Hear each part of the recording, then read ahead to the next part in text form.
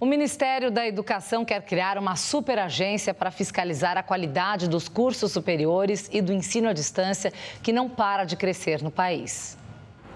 Na última década, a educação à distância disparou no Brasil. Segundo o último censo da educação superior, o número de cursos EAD pulou de 1.100 para 9.200, alta de 800%.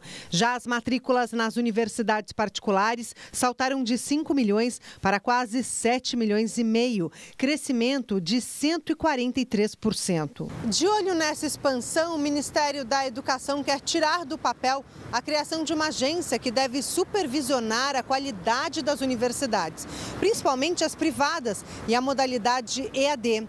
A ideia é que esse novo órgão tenha poderes para intervir em instituições, além de poder descredenciá-las e aplicar multas que podem chegar a 500 mil reais. Em novembro, o MEC suspendeu por 90 dias as autorizações para novos cursos de licenciatura não presenciais.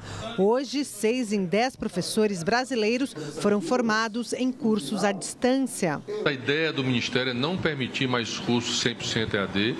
Então nós vamos definir, vai ser 50%, vai ser 30%. Lembrando que o problema da licenciatura de formação inicial são em todas as universidades. Já existe um projeto de lei de 2012 no Congresso Nacional que discute a elaboração de um instituto de supervisão e avaliação da educação superior, uma autarquia vinculada ao MEC que pode atuar como pretende o governo. A proposta atual deve aproveitar o texto parado na Câmara dos Deputados, uma vez que ele já passou pelas comissões de Educação, de Trabalho e de Finanças. Segundo o ministro da Educação, Camilo Santana, com a estrutura atual, o MEC MEC não tem capacidade para fiscalizar de forma efetiva a qualidade de todos os cursos universitários e à distância espalhados pelo Brasil.